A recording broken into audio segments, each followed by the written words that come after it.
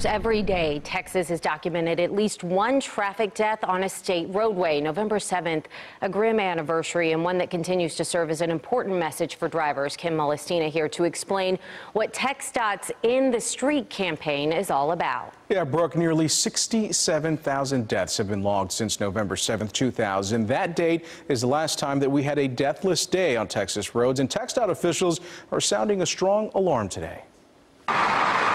There's no denying how much driving we do across North Texas and the entire state, frankly. Unfortunately, all these motorists have created a deadly trend that TxDOT officials want to see end.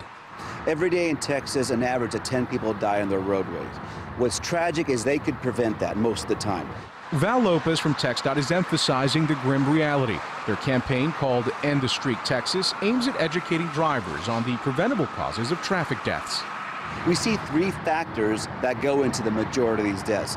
It's people speeding, it's people who are distracted, and it's people who are driving while intoxicated. So we're basically asking motorists to do their part to end the streak. In Tarrant County alone, MedStar officials report 44 dead on scene cases in 2018. This year, with two months to go, the number is more than 30.